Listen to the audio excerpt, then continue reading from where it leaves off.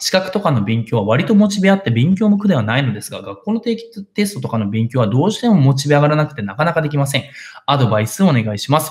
まあ、これはわかりますね。僕も全く一緒というか、えー、資格って残るじゃないですか。2級みたいな。一方で学校の定期テストってなんかこう流れ作業になってしまいがちなんですよね。だったら、まあ、本当に自分の中で目標を設定するぐらい、あとは、え、友達と競う。そこら辺がまあ一番いいんじゃないですかね。結局ライバルがいれば、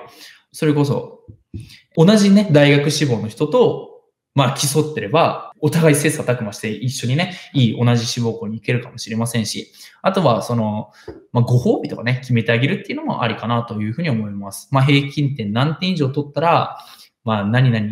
していい、まあケーキ買っていいことにするみたいなね、可愛いご褒美ですけど、まあそういうね、何かしらを、モチベをね、自分で設定してあげるっていうのがいいかなと思います。